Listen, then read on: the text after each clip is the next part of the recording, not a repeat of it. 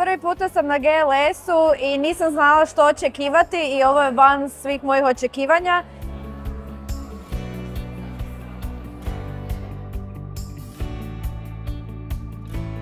Poznajem ljude, networking, izlažem sebe, govorim neke svoje ideje, tako da mi je to super isti.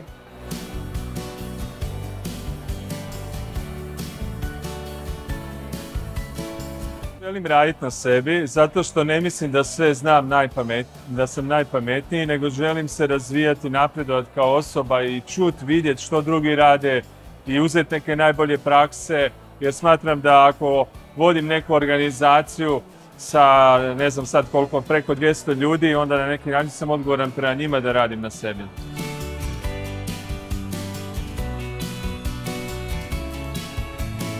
Meni je GLS dobro zato što me potiče na promišljanje, na preispitivanje prakse.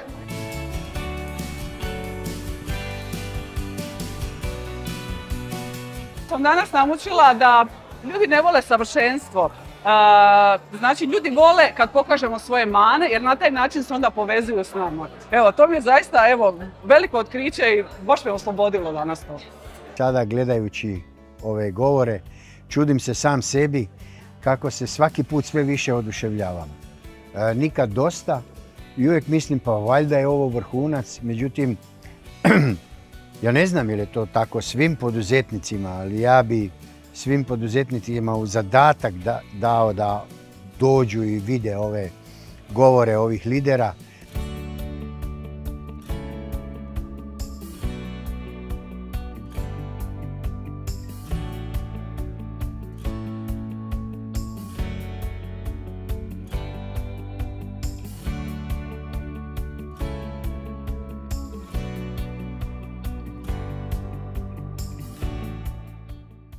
GLS ove godine, kao i svih godina do sad, prekrasav i inspirativan.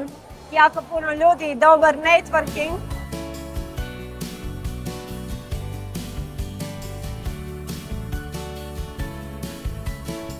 Iskustvo je prekrasno. Ja sad naježim da to pričam koliko mi je dobro i lijepo bilo i apsolutno sva podrška i poziv svima onima koji ovo ikad budu gledali, dođite i pogledajte.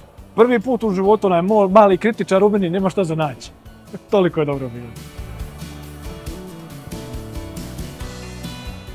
Najveći uspjeh je upravo to povezivanje.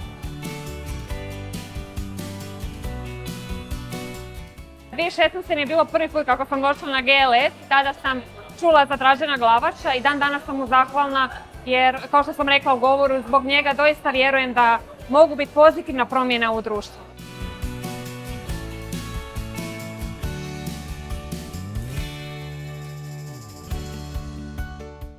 Lideri svojih zajednica, dobivamo neke upute od naših mentora, pa evo i ovako putem videa, putem konferencije, da i mi imamo priliku rasti.